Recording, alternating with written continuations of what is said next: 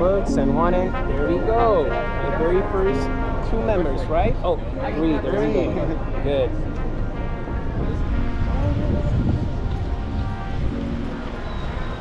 Okay, over here, folks. Listen, welcome to the very first stop of the day.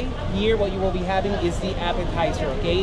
This little pink house right here, it is called La Casita de los Rones or the Little House of the Rum, my friends. It's a restaurant and bar, and most importantly, it is a flagship store to the government agency program that we have here in Puerto Rico called Rums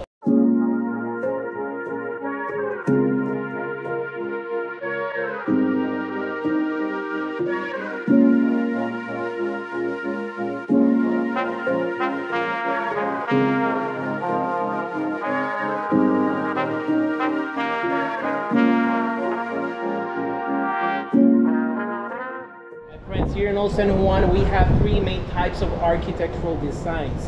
The very first one is the most abundant one that you will see throughout the city is this one right here. That is in the classic Spanish revival style, okay? Before the 1800s, San Juan was a very impoverished town. There weren't any cobblestones, the roads were made of dirt, and the houses were as low-key as possible. The mindset back then was, if my house is too flashy, it will get ransacked, okay? After the 1800s, Old San Juan became more developed, things calmed down, and then it went the other way. Now proprietors wanted to show off their wealth, and they did so by having the first floor covered in windows, okay?